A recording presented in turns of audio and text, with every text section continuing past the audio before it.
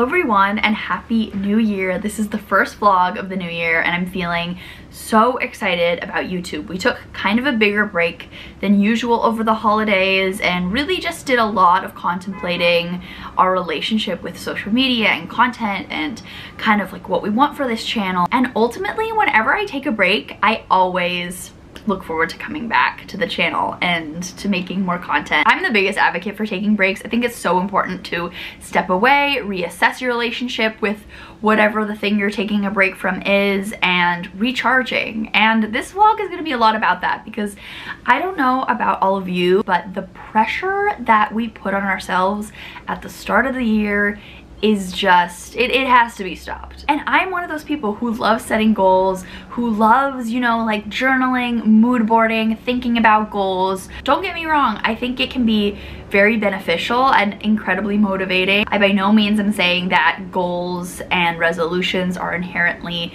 negative. I just think that the pressure that comes with the new year and the pressure that we put on ourselves can be a little bit depressing. I've been feeling a little bit down, getting a little overexcited about goals and you know, you start running through the list and basically start getting that very icky feeling of like, whoa, I wanna change everything about myself and that means that I'm not good as I am, which is the biggest lie, the biggest pile of garbage. Um, and this is a little reminder to all of you watching that you know, it may be a new year, but there doesn't have to be a new you because the you you already are is perfectly wonderful as is.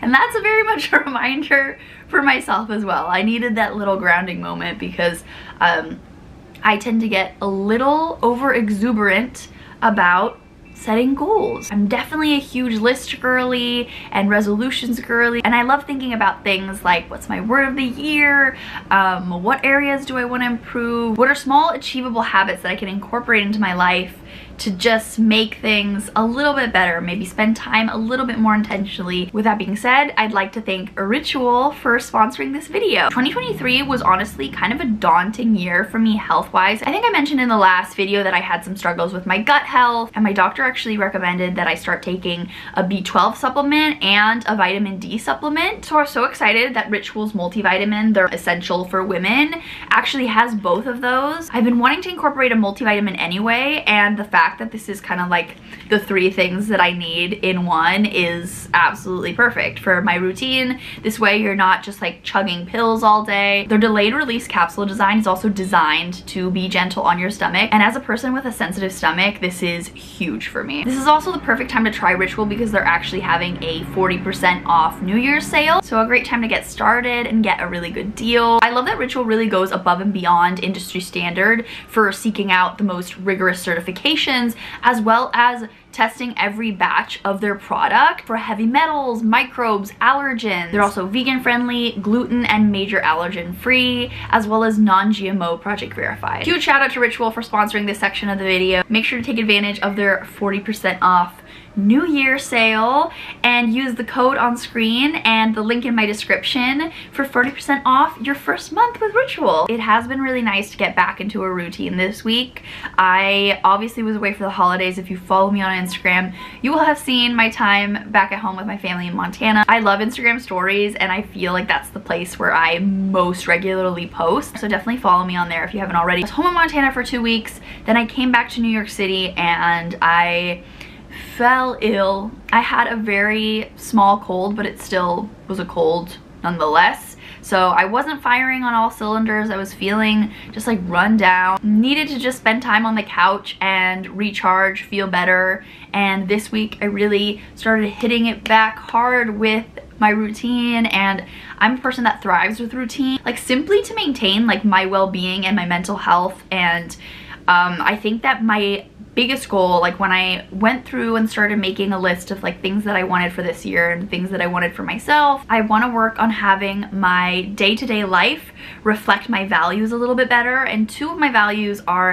community and creativity and those are two things that I think desperately need to be fostered for myself this year. I did art and music all through high school and as I think a lot of us do when they get sucked into, you know, college and post-grad life and entering the corporate world. Like those things fell by the wayside and it really makes me very sad and leads me to feeling kind of a lack of fulfillment in my life. Like I enjoy my job and everything's like smooth sailing there, but I really owe it to myself to prioritize incorporating creativity more into my day-to-day -day life and also community. I think that community in New York City is so important. A lot of us live really far away from our families and our friends are everything. So I really would love to host more in my apartment, make an effort to water the friendships I already have as well as connect with new people. I am always looking to make new friends. There's so many people in New York. Such an amazing city to connect with all sorts of different people. So I'm really excited to work on those two main things as my overarching goal. This morning I had my cute little routine. I've been doing my morning pages.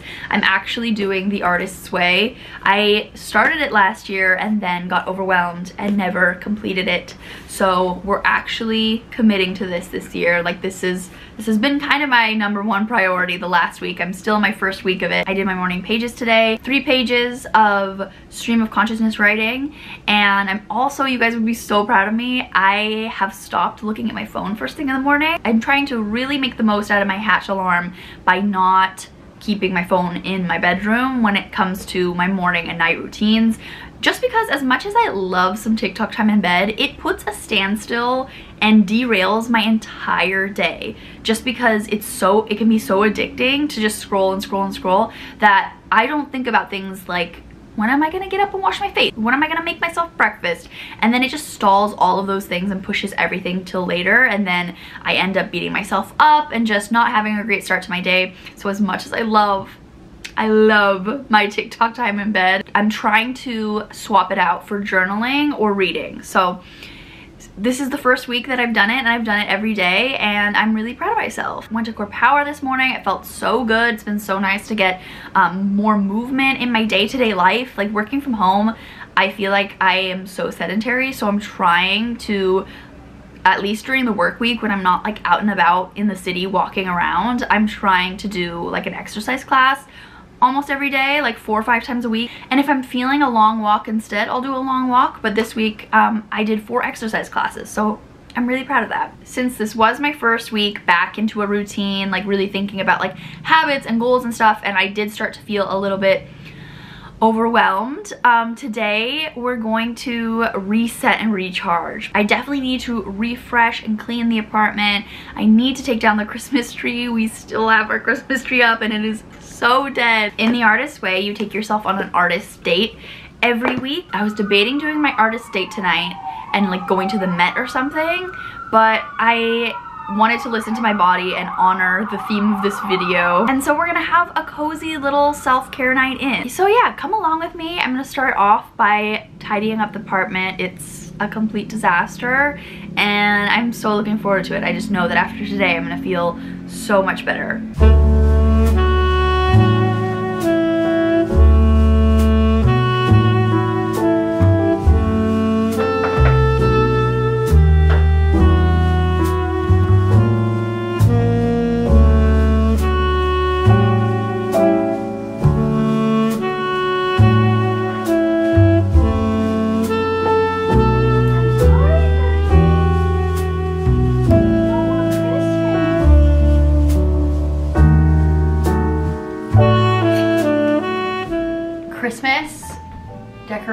Have been put away. Now comes the insanely daunting task of uh, taking the Christmas tree down six flights of stairs. These are the moments where I'm like, huh, what would it be like to have an elevator? My mom is a genius and she always uses like a fitted sheet to take down the Christmas tree. I tried this last year. It did still get pine needles everywhere, but that was because we had like an eight foot tree. Let's hope this little guy leaves less of a mark on the world.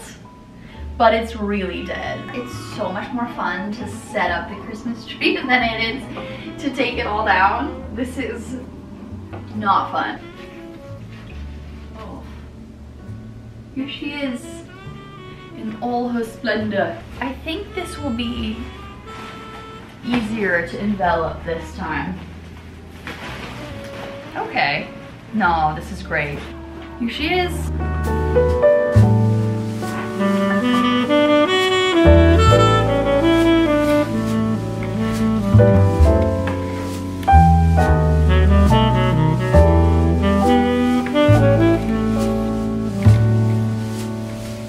The tree has officially been taken down.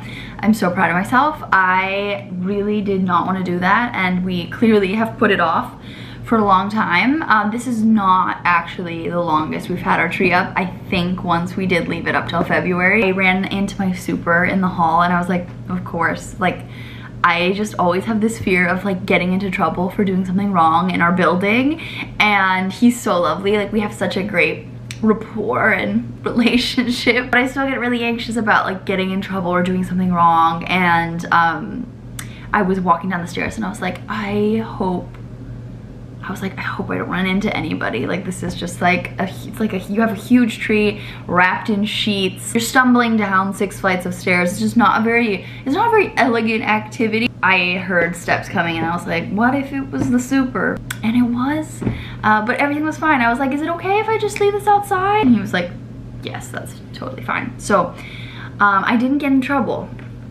Not today, at least. I just realized that I forgot the stockings, so we're gonna have to put these away too. The apartment is still very much a mess. I have to make dinner at some point. It's already like five, so yeah, the night is young though. Let's, let's keep resetting and refreshing so that hopefully the rest of the weekend I can just relax. I mean, this isn't, yeah, this is not stressful. This is not stressful. I'm trying to convince myself. No, this is good. This is good. I clearly have not been vlogging because I'm so out of practice.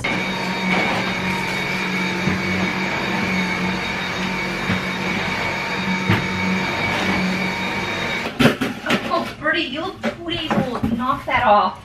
She literally looks like this. I don't know why. Why is she serving Hamtaro? What should we watch tonight? Okay.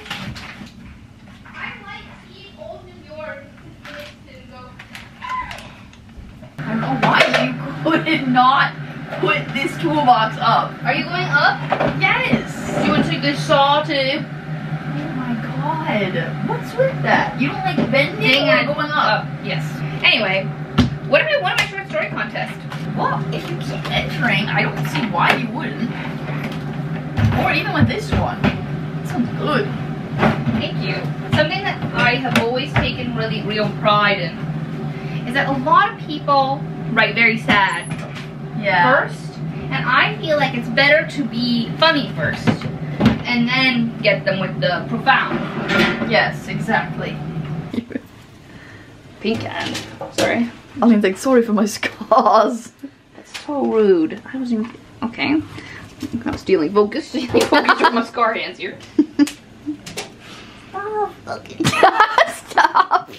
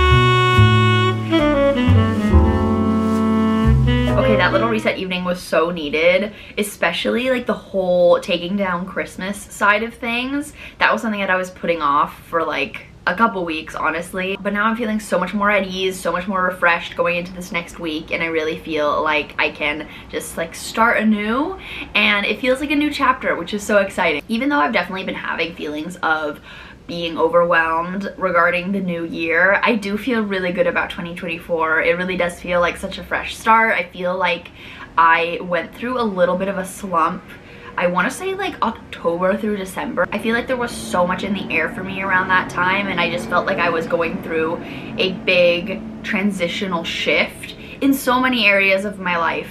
I stopped seeing my therapist. I began looking for a new therapist. I'm still looking for someone who's the right fit. I ended up switching anxiety medications, which was so difficult. If anyone's been through the process of weaning off of one medication and starting a new one, it honestly took me until now. Like I started the process in October. Now mid-January, I'm finally feeling back to myself and it just, it took so long and it was so, so grueling. And it definitely also was something that sparked my my slump from October to December. It was rough. I definitely struggled with a lot of feelings of um, depression and anxiety, especially with these darker, colder months. Seasonal depression is definitely something I struggle with as well. So um, the fact that I was doing this big um, switch up with my medication was uh, not fun. It was not fun. It was really, really hard, but I'm really feeling so much more like myself, so much more back to normal. And I think that like that new SSRI has really kicked in and I'm, I'm feeling really good and really optimistic about um, the future. I also deleted my dating apps, put a pause on dating, at least for now. I think there's definitely just so many areas of my life that I need to stop ignoring and I need to prioritize. I really think that fulfillment and purpose was something I was struggling with a lot last year. For the first time ever, I think, I finally have a job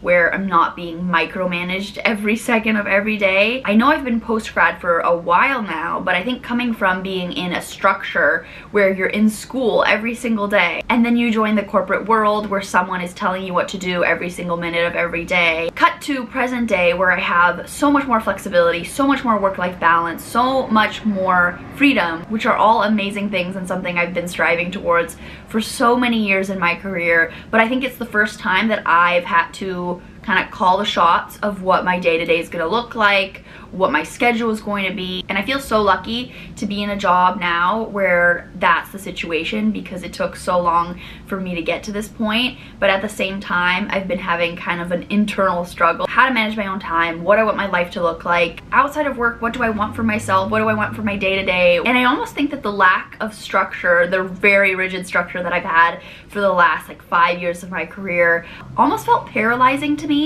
to the point that I just kind of like froze and really didn't know what to do with myself or my time or how to fill my days and my life. And um, I've just been kind of at a standstill honestly in the last year. And it was a lot of coming to terms with the fact that like I had been lacking a feeling of purpose and fulfillment. And I'm very very content in my role right now and I feel so lucky. Um, but at the same time I kind of had a little bit of a breakdown and was like, okay, something has to change. So I feel like the end of last year was a lot of tearing things down and now we're starting to build from the ground up again. Towards the end of last year, I did so much unpacking of my feelings and um, looking inward and thinking about my life that I definitely feel like I have so much more clarity going into this year and I know the things that I want to change about my life and I feel like I have such a deeper understanding of myself and my values and what I want out of life and it feels really good. I feel like I got so much clarity and closure on things towards the end of last year that um, now that I am kind of like rebuilding, I feel really excited to do so. That being said, I know we've done a lot of chatting about goals and resetting and feelings and um, I thought that for the end of this video would be so fun to walk you guys through my 2024 bingo card. I got this idea from my friend Kat and I thought it was genius. As I mentioned in the beginning of this video, as much as I love goals and resolutions. I think they can be a little bit overwhelming, but I loved Kat's bingo card because she also included so many little things to do just to spark joy. And I think that, that is equally important as like career goals, health goals. So I thought I've babbled enough about goals and where my head is at regarding the new year that I'll just share my 2024 bingo card. I do want to do a disclaimer that um, it is probably not realistic that I will do all of these things, but this is just a fun exercise. It's something that I did with Aline and um, we had so much fun brainstorming what we wanted to put on there. There's a mix of stuff that's a little bit more realistic and fun and silly and joyful and then there's a few like more career adjacent things. I'm not putting pressure on myself to do all of these things because it is a lot, but this is more to serve as a guide of what I want for the next year. And again, I have the entire year to do this, and I feel like a lot of these things I've already worked towards for a while and like already implement them in my life enough that they're realistic. So it's a good, I think it's a good healthy mix. So let's walk through my bingo card. I think I'm going to um, put it up here on the screen. Let's make some room for it next to me. Number one is probably the biggest one. Aline and I are planning an international trip. We are planning to go to the UK this year and we're so excited. I haven't been to Europe in years and since the pandemic I really haven't prioritized travel. It's just seemed really daunting and I really want to prioritize travel this year um, and I'm so excited to go on an international trip, to go somewhere new, and to just explore and have a little bit more adventure in my life. And yeah, we're just gonna have so much fun. I don't think we've done a solo sister trip abroad, so this is huge for us. I want to host a dinner party. As I mentioned, community is one of my core values and definitely something I want to lean into this year. So I really want to host a dinner party, even if it's just like a two, three person dinner party. I did that last year and it was a lot more low maintenance but I would love to get into hosting more in my apartment. I really want to go on a solo trip. I think that's something that I always say that I want to do but I keep pushing off but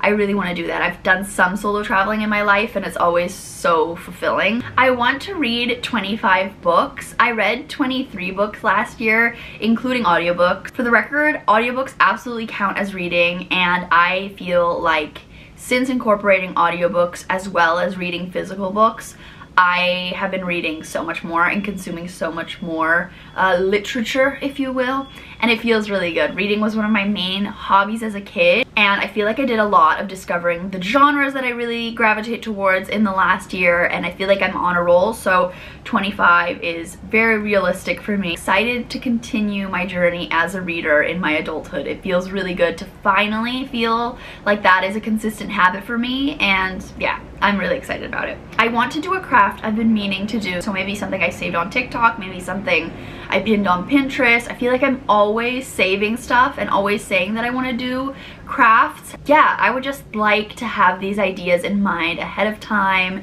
and save them for like a sleepy afternoon versus trying to cram them in last minute when things are stressful. I want to take an art workshop. Aline got me a gift card to an art workshop um, in Cold Spring. Cold Spring is one of our favorite little upstate destinations to go visit outside the city and so I am looking forward to doing a little jaunt up there. I think they have a watercolor workshop that I would love to do. I want to perform music somewhere. 2022 was such a good year for me I feel like.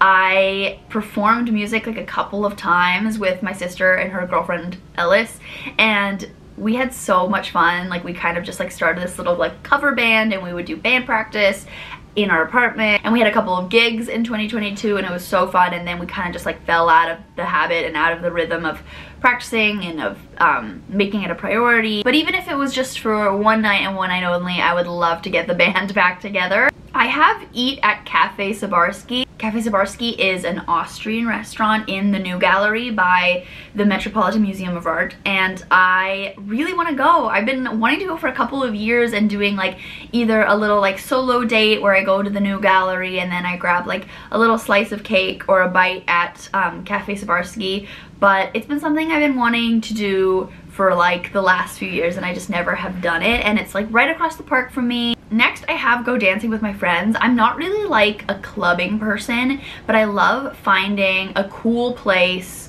that you can dance. Me and my friends really love going to drag shows and the drag show that we typically go to has like a dancey element afterwards and we danced post Grinch drag and it felt so good. Like I love dancing and I'm not good at it, but I love to go out and dance. Even just like sober, like I like to dance. Um, so I have Go Dancing on here. Um, maybe I'm entering my going out era. Probably not, but I think at least once we have a couple spots that we want to try out that have some dancing involved, which I think would be so fun. It's so healing to me to just like go out on the town jump around with your friends, maybe have a drink or two, maybe not, and yeah, just let loose a little bit. Next I have do karaoke. Karaoke is one of my favorite things and I feel like I never do it anymore. Even if it was just me, Aline, and Ellis going to like a little karaoke place and getting one of those private rooms, I think we would have an absolute ball. I think it would be so fun. So um, I want to make sure that this year I do karaoke at least one time. I also put go to three new museums or galleries, which that's something that's super realistic for me. Going to museums, seeing exhibitions, and going to see art are all things that I love incorporating in my day-to-day -day anyway, so that's not a super overwhelming goal, which is great because we've got to have them sprinkled in because this is a lot of stuff. Um, I also put go see five live performances and that could be theater, concerts, ballet, opera, etc. I want to take advantage of living in New York more. I feel like I do that here and there, but I definitely go through stretches of time where I'm like, oh my god, right, I live in New York City. I can do so many cool things. And there are so many great deals that you can get too that I feel like I'm just like not really aware of. So I want to look into that more. I know Aline just got on the New York Philharmonic's under 30 list where you can get affordable tickets to see the New York Philharmonic. So um, yeah, there's opportunity to see stuff for not a lot of money as well. Next I have join a choir or music group. I last year was struck with the feeling of missing being in choir. I did choir all through high school and then was in an a cappella group in college for a little bit and I was also in a community theater musical my senior year so I just like miss being in a group of people and singing. I feel like there has to be a choir or some sort of music group in New York City that I could join. I there has to be. So I want to at least look into this more this year and like see if there's something that could be a right fit a right fit for what I'm looking for. I'm just like I want to chase that like after school extracurricular feeling that like feels like this gaping hole in my life. Next, I have finally complete the artist's way. I talked about this in the beginning of this video, but I'm doing the artist's way right now, um, and I'm really excited to see how it goes for me this time. Next, I have find a new therapist. This is something that will absolutely happen this year. Um, I just haven't really like sat down and done the research to get it going. After about like two, three months off from therapy, I really miss it. So I would love to find a new therapist who ideally I really love and can like build a longer term relationship with. Next, I have film an apartment tour. So this is something that I've put off a lot because I struggle from really intense perfectionism and it's held me back from doing so many things. I have so many things and so many ideas of what I could do to this apartment for it to look even better, but my apartment is beautiful. I feel really proud of it. I think that like I've developed so much in my interior decorating style and abilities. It's taken a long time to get to where I am today, but I feel really good and really proud of the space that I've curated and I put a lot of work into it even though there still could be a long ways to go. You guys will most likely get one this year. Um, I, I feel like as much as there are projects that I still want to do, I've gotten to a point where I'm really happy with the way that the apartment looks, which is huge. Next, I have work with a dream brand. I have a lot of dream brands that I'd love to work with, but um, also this is something a little bit more personal when it comes to like I don't know who I want to work with. Next, I have go draw at a museum. I did this um, a couple summers ago when I was unemployed and it was so healing. I feel like I learned so much about my own um, art style and it was such a cool way to even more deeply appreciate looking at art and seeing things in a completely new way. Um, so I think that I need to get back out there and go draw at a museum again. Next, I want to take myself on a date. I feel like I'm really good about doing this, but I want to make sure that it's still on my radar for um, something to prioritize for 2024. Next, I have attend or throw a Halloween party. Every time Halloween rolls around, I'm like, should I throw a party? Should I throw a party? Should I throw a party? And then I feel like I wait until the last minute and then I don't have any Halloween plans and Halloween is a holiday that I love. I love putting together a costume even if it's with stuff that I already have but um, every single year I get so much FOMO around like that specific holiday and I've thought a lot about it and I really want to make sure that this year if I don't have Halloween plans or if no one's throwing a party in my circle I'm gonna be the one who's gonna throw a party. Even if it's a small get together even if it's like a movie night come in a costume if you want um, I want to make sure that I have like solidified Halloween plans because every year every year at the end of October I start spiraling with like oh, I should have planned something, but I didn't. In this case, FOMO is like a little bit more valid and I think I need to like listen to those feelings of wanting to participate in this holiday that I really think is so fun. Next, I have Walk from the Top to the bottom of Manhattan. This is something that um, my sister's girlfriend and my very good friend Ellis did last year and we joined for like a couple miles and it was so fun. This is something that we've all talked about doing this year together so I'm excited and a great way to again take advantage of where I live. Next I have host a Galentine's Day party. This is currently in the works.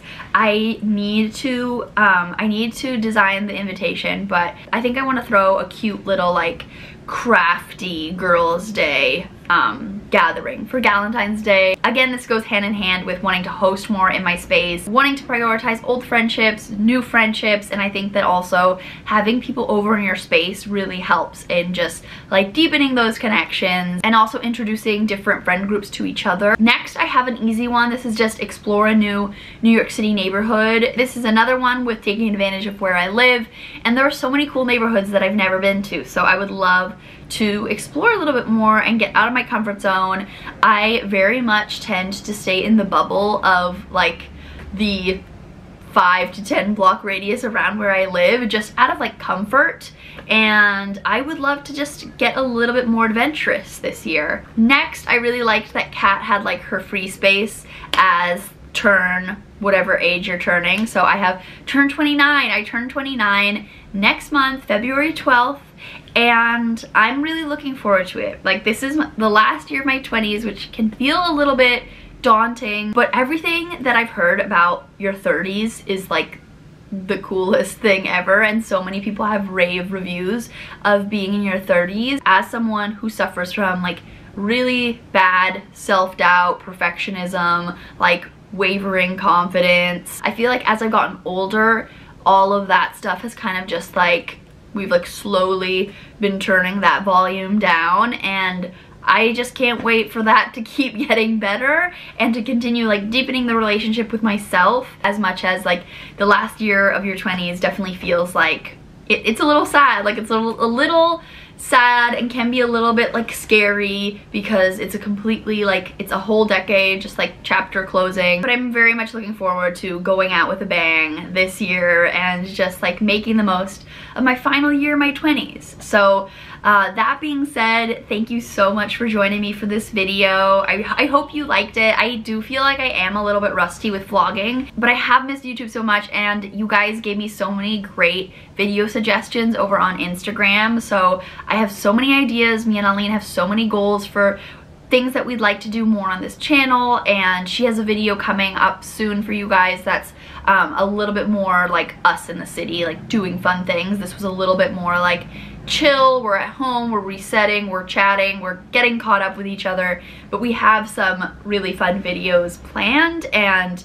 um, as I mentioned about like struggling with fulfillment and purpose and wanting to pri prioritize my creativity more, YouTube is absolutely a part of that. Um, and I just want to thank you guys for always being so wonderful and patient with our very erratic uploading schedule. Consistency is something that we've struggled with a lot and a lot of that is the result of us obviously having other jobs but now that I'm finding a little bit more like work-life balance, a little bit more autonomy in my own schedule, like I do want to prioritize YouTube more this year. So yeah, thank you so much for your unwavering patience and your support and your encouragement. We've done YouTube for so long that can sometimes feel like, okay, like does anyone even care? Like, is this still like something that people want?